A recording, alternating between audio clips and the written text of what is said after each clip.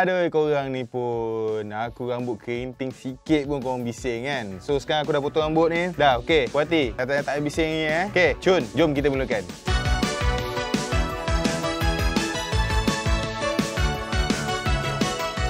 Salam guys, Muaz Malik di sini. Selamat datang ke rancangan Bulletin Gadget. Rancangan di mana korang akan menerima info-info terkini berkenaan dengan dunia teknologi secara santai. Jadi guys, tanpa membuang masa, jom kita mulakan dengan bulletin yang pertama. Cyberjaya, Putrajaya dan Bandar Meru Jaya akan terima kemudahan teknologi 5G. Bakal jadi bandaraya pintar pertama di Malaysia. Pada minggu ini, kita dapat melihat yang mana Menteri Komunikasi dan Multimedia Malaysia, Wabi Gobind Singh Dio, telah melancarkan projek rintis rangkaian 5G yang mana akan dimulakan dimulakan di Putrajaya, Cyberjaya dan Bandar Meru Raya. Jap, Putrajaya aku tahu. Cyberjaya aku tahu. Bandar Meru Raya ni kat mana pula? Jap, jap eh. Aku Google jap. Kejap, aku tak tahu kat mana. Ipoh Perak. Bandar Meru Raya ni terletak di Ipoh Perak. Projek ini akan dimulakan pada bulan April ini untuk kawasan Putrajaya dan Cyberjaya dan bulan Julai untuk Bandar Meru Raya. Perbincangan mengenai projek rintis ini sedang giat dilaksanakan antara SKMM, Suruhanjaya Komunikasi Multimedia Malaysia dan beberapa syarikat telco lain berkenaan dengan pembinaan menara telekomunikasinya. Hal ini adalah kerana jarak yang sesuai untuk rangkaian 5G ni adalah 300 hingga 500 meter sahaja. So benda ni berbeza dengan rangkaian 4G yang mana dia punya jarak dia tu dia boleh pergi sampai 1 hingga 4 km.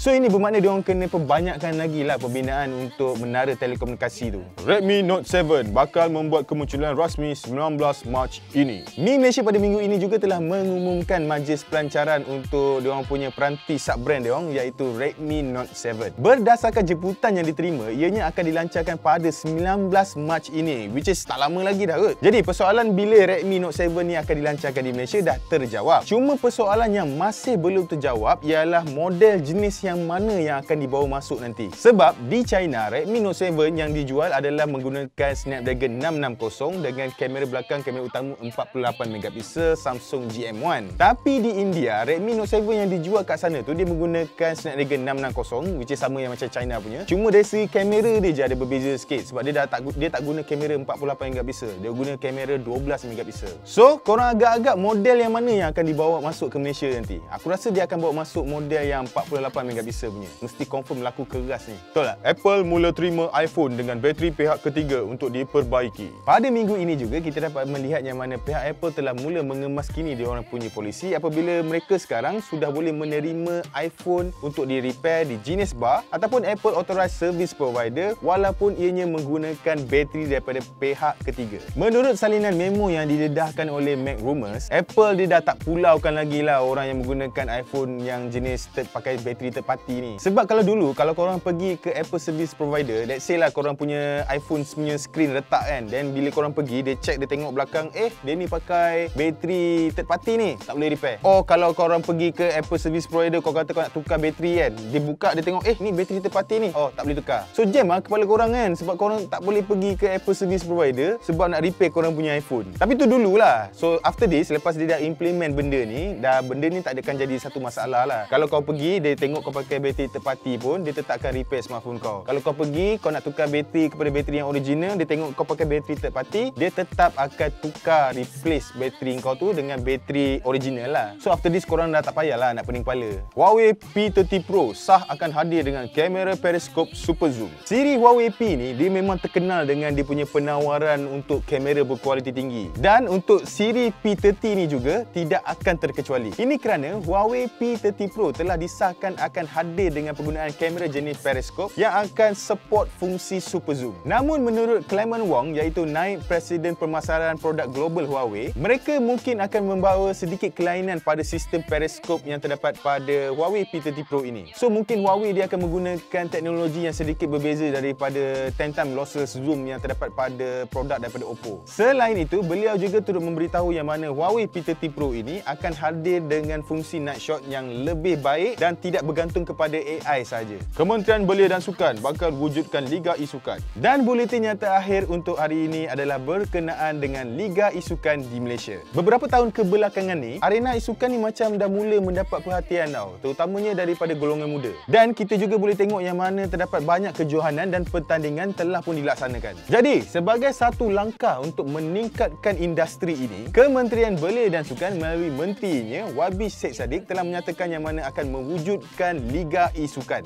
Menurutnya lagi, liga itu akan dipertandingkan di pelbagai peringkat dan ianya akan mampu menjadikan platform bagi mempersiapkan pemain untuk kejohanan di peringkat antarabangsa. Walau bagaimanapun, YB Syed Saddiq masih lagi belum memberitahu bilakah dia akan mewujudkan Liga E-Sukan ini kerana kementeriannya kini sedang memberi fokus terhadap persiapan pemilihan atlet E-Sukan bagi mengharungi Sukan C 2019 di Filipina. Yap, Sukan C 2019 nanti akan ada pertandingan berkenaan dengan isukan ini. Antara permainan yang akan dipertandingkan pada Temasya Sukan Asia itu ialah Dota 2, StarCraft 3, Arena of Valor, Mobile Legend, Tekken dan NBA 2019. Jadi guys, sampai di sini saja bulletin gadget untuk hari ini. Macam biasa kalau korang rasa video ni best, jangan lupa untuk like dan subscribe. Kita berjumpa lagi di video yang seterusnya. Bye-bye.